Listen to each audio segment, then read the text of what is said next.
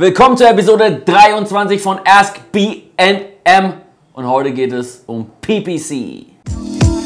Yeah, the way I see it, it's only me and my team. Motivated by pictures of places I've never been. Itching to leave the city in search of some better things. My fam and a couple dollars, that's all that's left in my jeans. Ain't accepted by nothing, we gunning by any means. Wide awake on the Okay Leute, wie geht's euch? Ähm, heute Episode 23. Ich bin natürlich wie immer mega pumped. Warum? Wieso? Weshalb? Ich bin gestern 29 Jahre alt geworden und ich fühle mich noch immer sehr, sehr jung, auch wenn ich jetzt langsam auf die 30 zugehe. Hm, Langsam mit großen Schritten und äh, die Zeit auch nicht vor mir halt macht.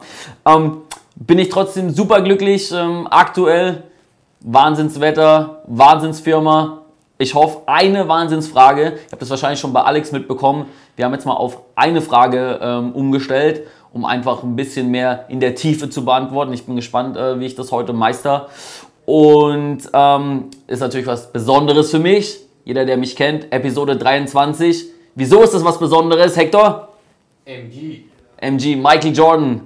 Ähm, das wird quasi eine Tribute-Folge für Michael Jordan. Hector, hast du die Frage? Alright, bottles on me, long as someone drink it. Never drop the ball, fuck it, y'all thinking. Zuerst mal muss man ja sagen, dass es zwei komplett unterschiedliche ähm, Plattformen sind, ähm, gerade äh, was, die, was die Nutzer angeht. Und ich denke, das sehen die meisten Menschen auch noch nicht oder das sehen auch die meisten Marketer äh, einfach noch nicht oder wir haben da viele, viele Diskussionen drüber.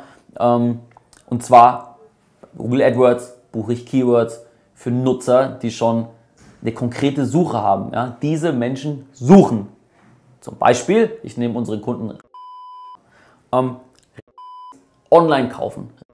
Kaufen. Diese Menschen sind an interessiert. Jetzt dürfen wir natürlich nicht vergessen, das sind keine Millionen Menschen pro Monat, sondern das sind, was weiß ich, 10.000 bis 15.000 vielleicht.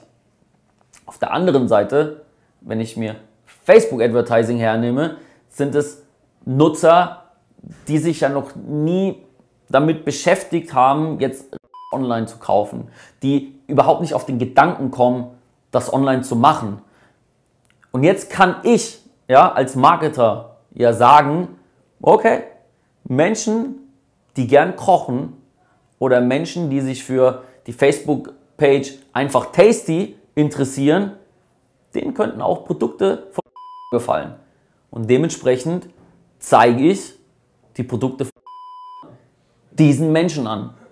Das bedeutet natürlich, die kommen zum ersten Mal mit der Marke in Verbindung und werden es wahrscheinlich niemals, außer man entscheidet sich jetzt zum Beispiel Fernsehwerbung zu machen, was aber extrem überteuert ist.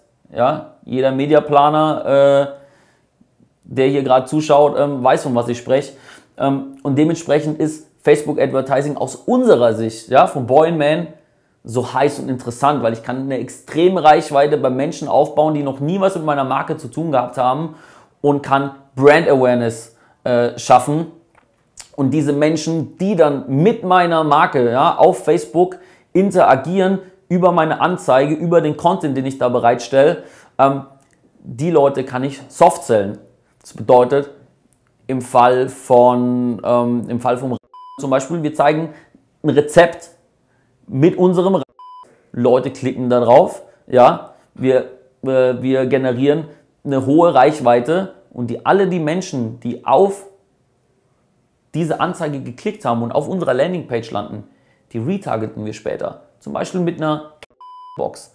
Und so versuchen wir, neue Kunden zu akquirieren. Das ist keine Raketenwissenschaft. Der Punkt ist nur, dass es auf Facebook noch sehr, sehr günstig aktuell, ja, im Gegensatz zu TV-Werbung. Ich nehme auch an, im Gegensatz zu Radiospots aktuell. Oder zu, äh, noch viel schlimmer, Plakatwerbung. Wie misst man Plakatwerbung? Also, ich meine tatsächlich, Leute, wie misst man richtig Plakatwerbung und den Effekt? Das ist ja das Geile an Facebook Advertising. Ich sehe ganz genau, wer hat auf meine, wer hat auf meine Anzeige geklickt und wer nicht. Und dementsprechend ist die Frage letztendlich gar nicht AdWords gegen Facebook Advertising, weil beide Werbeformen komplett, also beide Werbeplattformen komplett anders sind. Ja, nehmen wir ein anderes Beispiel, bleiben wir bei, bleiben wir bei, äh, bleiben wir bei Food. Nehmen wir zum Beispiel, hatten wir es vorhin bei uns im Office, Fleisch online kaufen. Wie wenige Menschen wissen, dass man Fleisch online kaufen kann? Extrem wenig. Und noch extremst weniger Menschen haben sich jemals darüber Gedanken gemacht, Fleisch online zu kaufen. Da kommt man ja auch in der Regel nicht einfach so drauf, außer man hat so einen stressigen Lifestyle, dass es irgendwie so ein Ausführer sagt, ja, kann ich das vielleicht auch alles online bestellen. Wenn ich jetzt in, in den Keyword Planner von Google ähm, gucken würde, das habe ich vorhin nicht gemacht, Hector, lass uns hier mal die monatliche, äh, das monatliche Suchvolumen anzeigen für Fleisch online kaufen oder Fleisch online bestellen, ähm, wird das Suchvolumen sehr, sehr niedrig sein. Aber es gibt durchaus Menschen, die daran interessiert werden, wenn sie wüssten, dass es geht. Facebook Advertising. Menschen, die gern grillen. Leute, die gern grillen.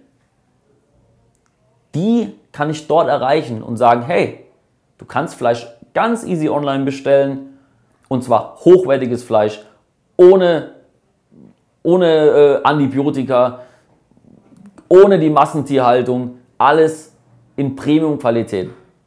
Meiner Meinung nach schlägt das eigentlich wie eine Bombe. Und da wird definitiv, in dem Fall wird definitiv Facebook Advertising mein mächtigstes Marketing-Tool. Das, was ich bei Google AdWords rumbekomme, ja klar, ist interessant, aber es wird ja auch nicht günstiger. Der Punkt ist, ich kann eine Riesenmasse an Menschen erreichen, die sich für mein Produkt interessieren werden. Und das ist hundertprozentig mehr wert als den Sale, den ich direkt abschließen kann. Ja? Gerade das müssen Marketer übrigens auch noch verstehen. Dass, ähm, oder eigentlich nicht mal die Marketer, die haben es meistens schon verstanden, aber die Geschäftsführer und die CEOs, ähm, für, die, für die es quasi natürlich nichts Geileres als einen, einen sofortigen ROI gibt. Ähm, aber das ist halt auch nur die halbe Miete oder das ist auch nur die halbe Wahrheit.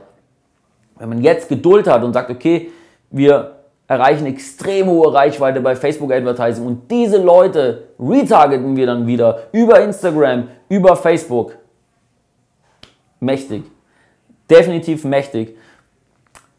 Wenn ich es zu entscheiden hätte, Facebook Advertising, ohne Frage.